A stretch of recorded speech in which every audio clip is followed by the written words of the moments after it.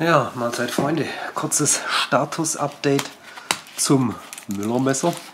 Zum Jäger Müller. Nennt man Jäger Müller, hört sich besser an, ne? so wie Gefreiter Schulz. Jäger Müller. Ne? Äh, Messer, klasse, 1A. Aber, also Messer, volle Punktzahl, nur leider die eigentlich coole äh, größenverstellbare Nylontasche, auch elastisch nach nur einer Woche am, im EDC-Einsatz am Gürtel habe ich jetzt, nachdem ich es weggemacht habe zum Wochenende, um ein anderes Messer dran zu machen, schon bemerkt, dass die Naht hier, welches hier das, den oberen Gurt hält, schon, sage ich mal, zu zwei Drittel ausgerissen ist.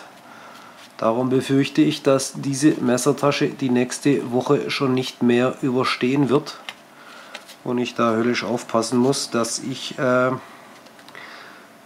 das Messer nicht irgendwann mal verliere, das irgendwie vielleicht runterfällt draußen im Gras, da hörst du es nicht und verlierst vielleicht das Messer und alles und weg ist es. Ne? Das ist schade, dass hier nach nur einer Woche die Nähte hier so schlecht sind,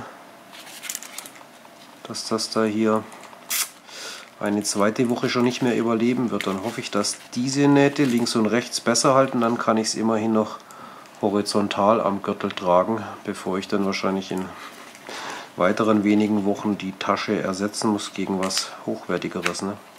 Also da vielleicht nochmal über serienmäßig mitgelieferte Zubehörteile das Ding dann vielleicht lieber weglassen und die Ledertasche etwas günstiger anbieten. Ne? Denn das hier ist äh, kein gutes Zukaufteil wahrscheinlich. Ne? Aber Messer perfekt. Also, kurzes Status-Update. Ciao, macht's gut. Euer Hibili.